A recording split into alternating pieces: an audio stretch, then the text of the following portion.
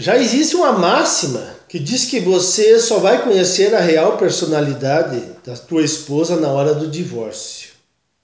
E isto é certíssimo. É por isso que o homem que ainda não se separou, que não casou, não leva a sério o que nós dissemos aqui. A maioria sequer discute isso. Somente quando acontece, daí é que bate o desespero. Mas enquanto der para ir engolindo desaforos da esposa, o homem casado vai disfarçando com churrasco, futebol, pescaria e que tá, tá tudo tranquilo. O homem é boboca nesse aspecto. O homem casado não tem a perspicácia, ele não é astuto que nem a, a sua esposa. Mas diz, dito isso, nós poderíamos dizer que o homem é um inocente nesse aspecto. E realmente é. E é por isso que nós temos milhares de homens em uma situação caótica. Longe dos filhos, pagando pensão, muitas vezes uma pensão que ele já não tem mais condições de pagar perdendo bem, sendo acusados falsamente de violência doméstica, e a lista segue. A mulher é muito mais astuta, ela planeja o que vai fazer. Se ela já não quer o marido, ela apenas espera uma situação favorável para chutá-lo. Eu quero relatar o caso do parente meu. Eu não posso revelar o, o grau de parentesco dele comigo. Ele há muito tempo foi morar em São Paulo. Ficou mais ou menos uns 12 anos lá e voltou. Conheceu uma mãe solteira aqui, engravidou ela e voltou para São Paulo com ela. Daí as coisas começaram a ficar difíceis por lá. Ela começou a ameaçar de vir embora, então ele veio com ela. Só que ele não tinha emprego, ele fazia alguns bicos por aqui. E foram morar ainda por cima, perto da sogra. A filha deles agora tem uns quatro anos. O menino que ela já tinha de outro relacionamento mora com a avó. Então ela se formou em enfermagem, estava morando perto da mãe, se sentiu estabilizada e há um ano atrás ela quis se separar. Disse que não gostava mais dele. Daí um domingo ele me chamou e me pediu o que eu achava que ele tinha que fazer.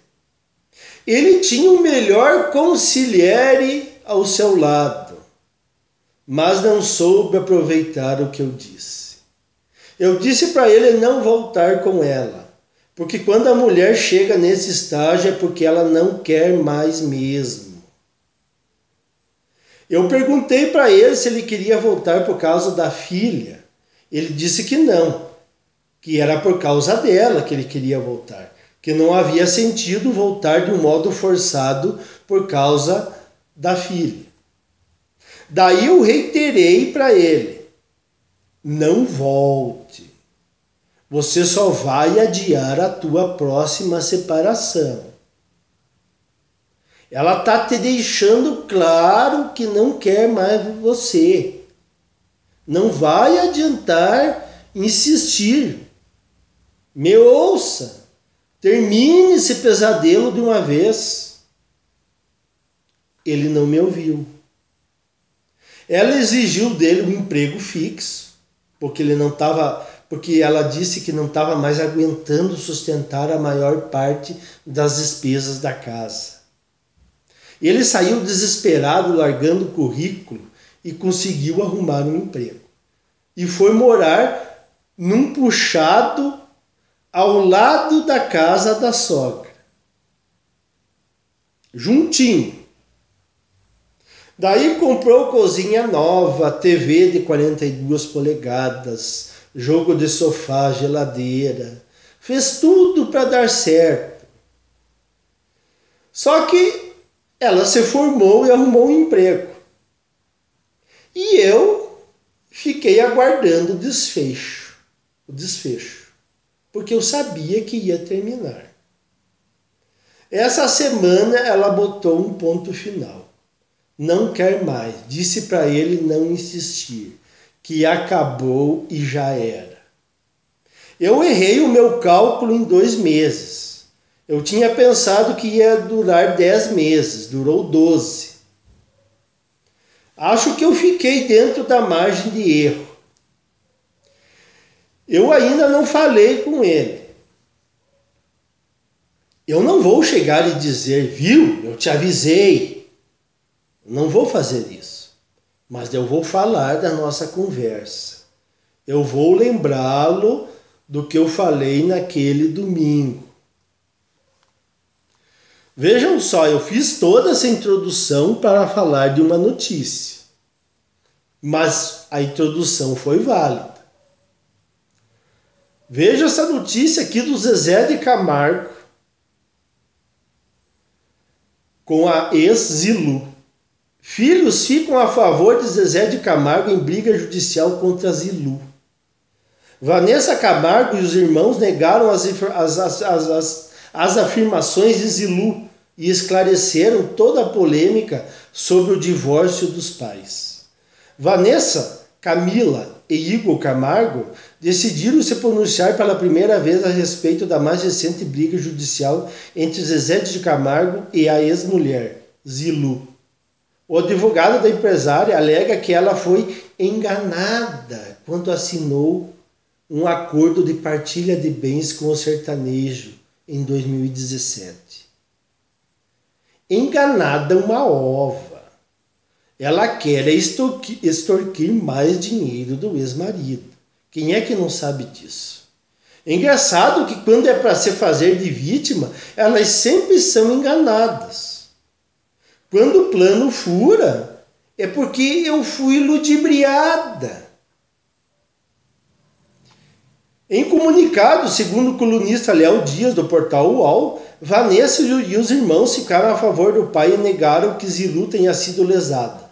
Além disso, afirmaram que Zezé nunca alegou estar endividado.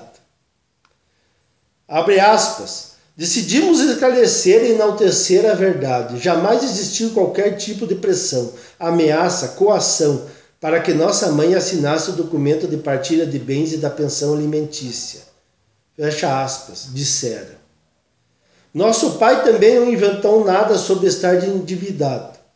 Tudo foi apresentado e assinado com o devido consentimento de ambos. Por fim, cabe esclarecer que nos colocamos à disposição para dar declaração em juízo. Concluíram os herdeiros de Zezé e Zilu. Toma! Os próprios filhos a desmentiram. O ex-casal segue com uma briga na justiça para a divisão dos bens acumulados em mais de 30 anos de casamento. Zilu alega ter assinado um papel após tomar conhecimento de uma suposta crise financeira do ex-marido. No acordo, Zilu receberia uma pensão alimentícia no valor de 40 mil mensais durante um ano. Além disso, comandaria uma das empresas da família. Mas, segundo ela, a empresa sofre com dívidas trabalhistas. Ah, lógico não soube administrar a empresa e daí entra na justiça para extorquir o marido. E vejam que ela recebeu 40 mil durante um ano. Isso dá quase 500 mil. Dinheiro que a maioria dos brasileiros nunca vão ver na vida. Essa é a realidade. Não adianta tapar o sol com a peneira. E para finalizar, eu descobri por acaso um link que fala sobre determinada pessoa aqui do YouTube. Não vou divulgar agora, mas se caso essa pessoa continuar insistindo, eu colocarei, colocarei o link para vocês lá no BitChute. Vou deixar o meu link do meu canal no BitChute. Se inscrevam nessa plataforma. Não demora nada. Então, aguardemos. Se as coisas continuarem como estão,